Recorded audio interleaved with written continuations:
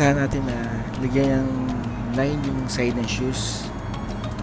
Bali, ito yung magiging ah, side ng ah, sapatos ng natin. nung wala. Wala na. Ganitong oras ay ano na ngayon eh. Boss na.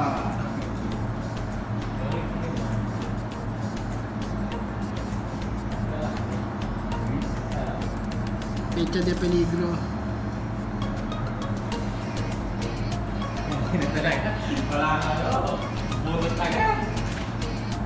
Kaya kayo.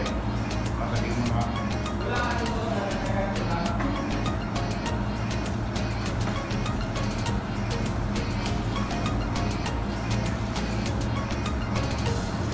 Kahit hindi natin mapantay yung, ano, yung mark, yung side ng shoes, okay lang yun, yung problema yun.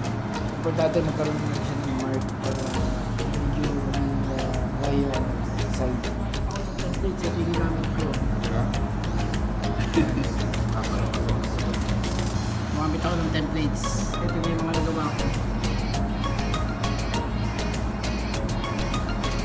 Yan ang kumpare ko malupit.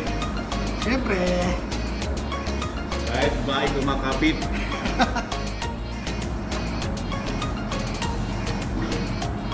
Kumakapit. Joke na lang po yun. Start na natin mag-assemble. Unahin natin yung swells. Madali lang naman to ah. Lagyan lang natin ng water yung side niya. Para madali siya magdikit. Kung meron kayong ah, adhesive, edible adhesive, pwede rin yun.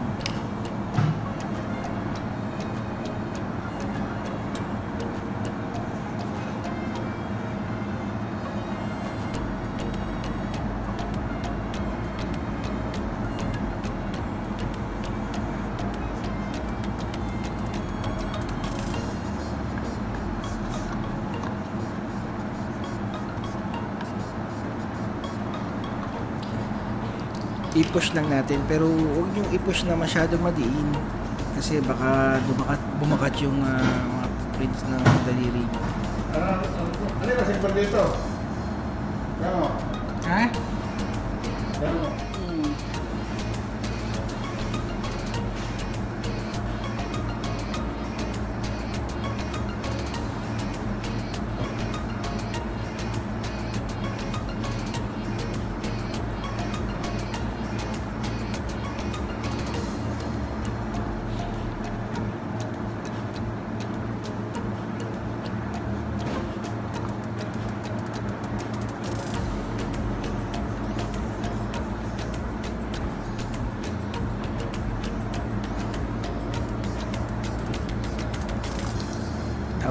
Sunod na natin yung pinaka-body ng shoes.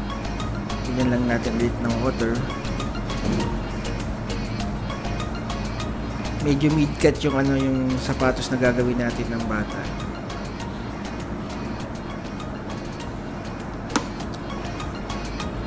Butasan nga pala natin yung ano, yung body ng shoes natin uh, using this nozzle para yung side na parang meron siyang lace yung sintas. Yan. Butasan natin ng tatlo kasi mid lang naman siya. Tatlo din sa kabila. Ganun din sa isang sapatos na gagawin natin. Mali dalawa kasi yan ito dikit lang ulit natin yung water Dali lang, simple lang gawin to. Napakadali.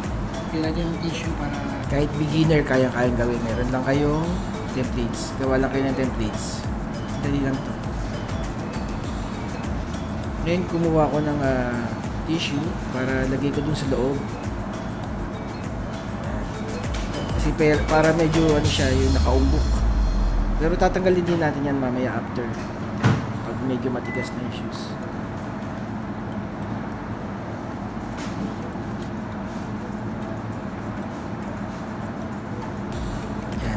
Pwede na, pwede na natin dikit yung body ng shoes. Para na siyang Converse niyan. Converse na white. Pero hindi naman yung in-achieve natin. Bali, ah, PB shoes ang gagawin natin ngayon.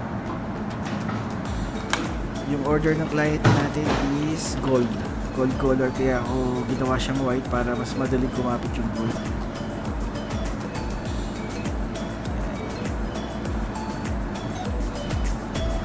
Ngayon, ah, gamit tayo ng stitch roller Yan. para magkaroon ng effects na kinahi yung sapatos.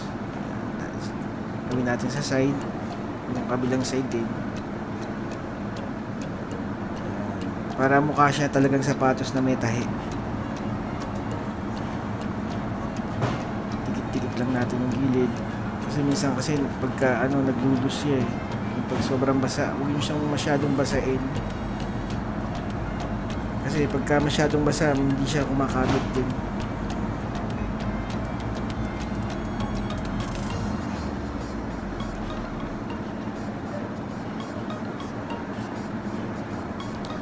Lagyan din natin ng ano, na stitch yung tahi yung pinaka nilagyanan ng sintas. Para mukhang realistic yung sapatos.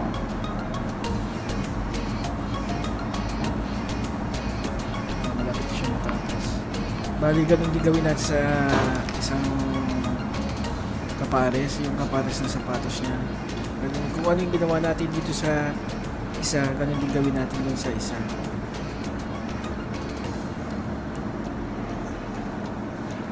Bali, lipat lang natin siya dito sa ano sa ah, kickboard para madali siyang iangat. Yan, umpisa na natin ikabit yung ah, side ng swelas. Yung ginawa natin ng una para ma-cover yung ano niya, yung pinaka-side niya. Magkaroon siya ng shoe effect na ano.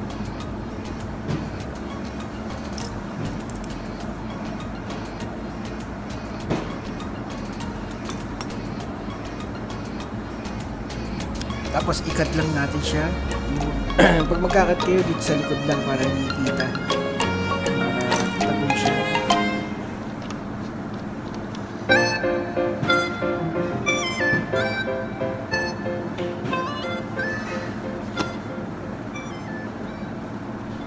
Ayan, almost done na. Gawin na naman natin yung isang ah, kapares.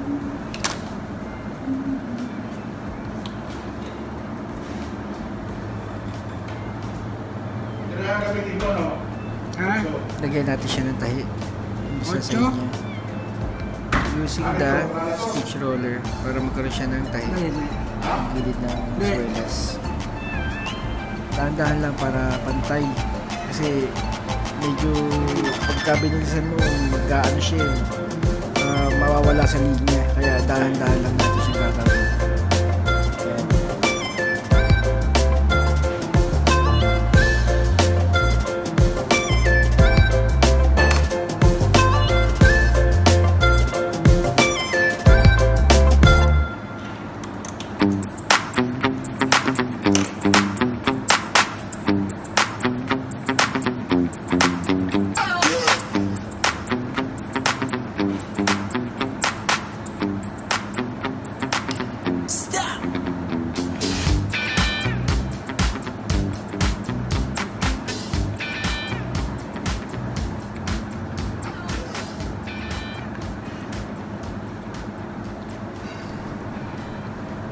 Napakadali lang gawin ito.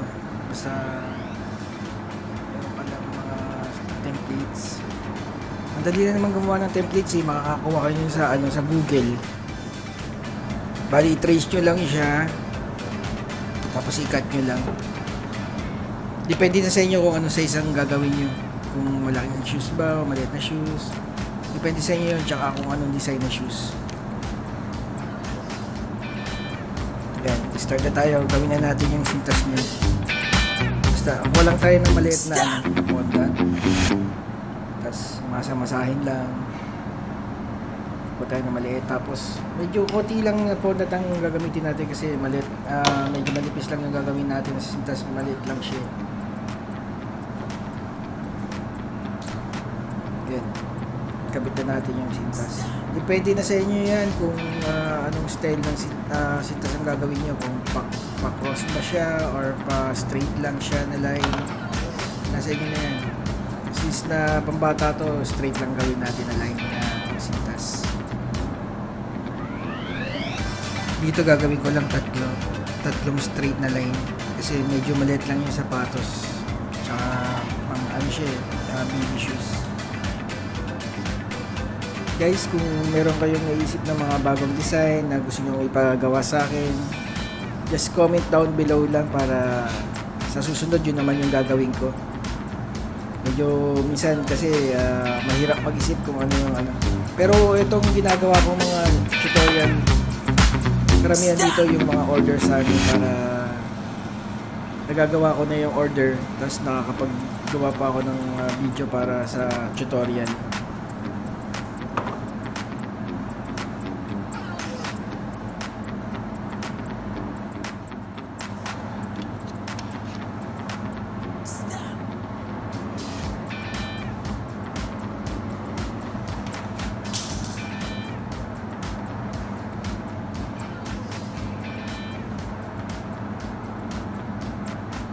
So, yan na.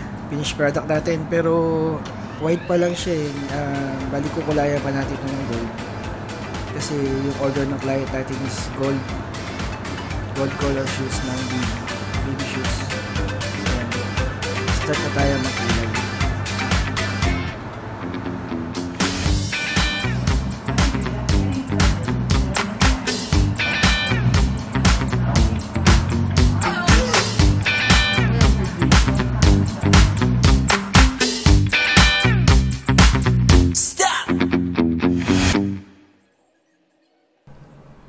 Yan, umpisa na natin magkulay.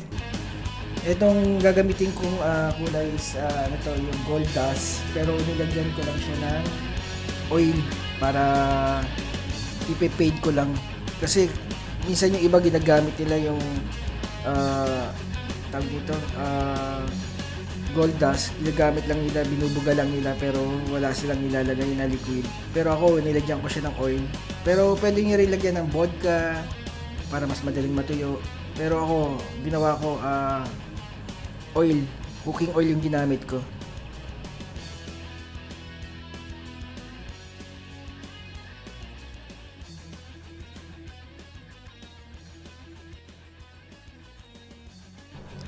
So, cover lang natin siya ng lahat ng gold.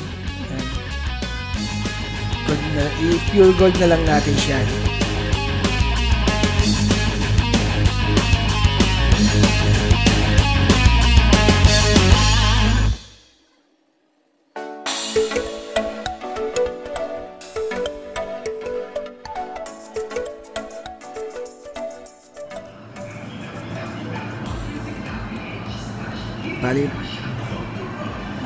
Naman siyang gawin ito. Nag-enjoy kayo pagka ginawa nyo ito. Dali lang, simpleng gawin, napakabilis.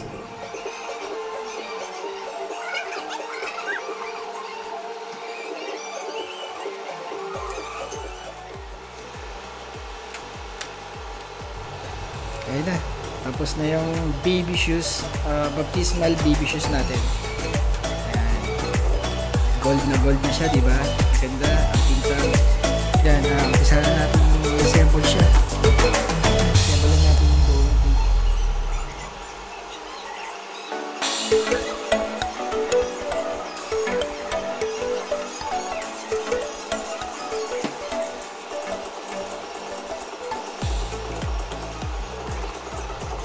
Yan.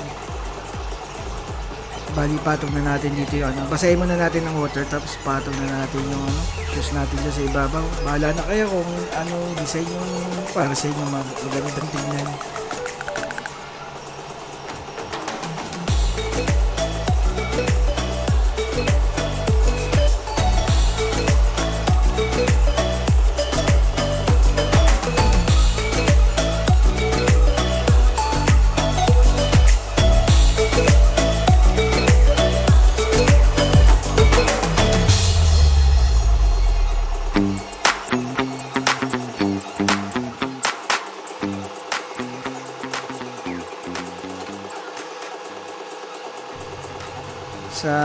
Hindi pa nga pala nakasubscribe niyan, feel free to subscribe to this channel, Chefs on Board. Tapos hit nyo na rin yung not- notification bell para updated kayo sa mga bagong video na ilalabas ko.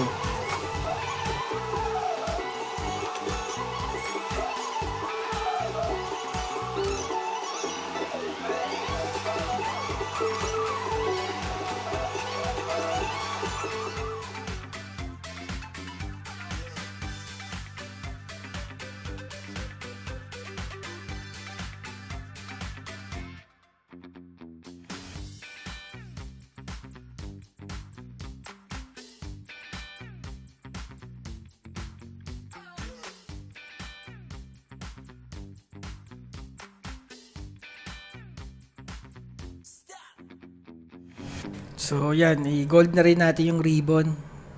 Ah, gawin na lang natin siyang gold para kasi medyo white, all white yung cover ng ano eh, ng cake natin. Ah, kaya yung ribbon gawin na natin siyang gold para magandang tignan.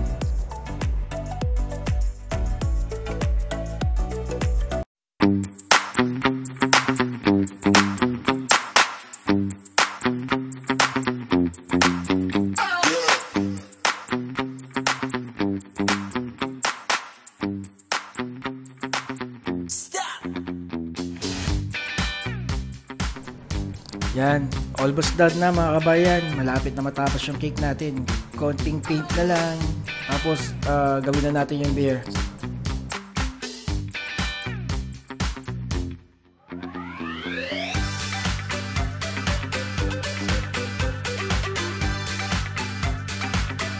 Yan, dinislis lang tayo ng konti. Tingnan natin kung medyo madumi yung board natin. Punas lang.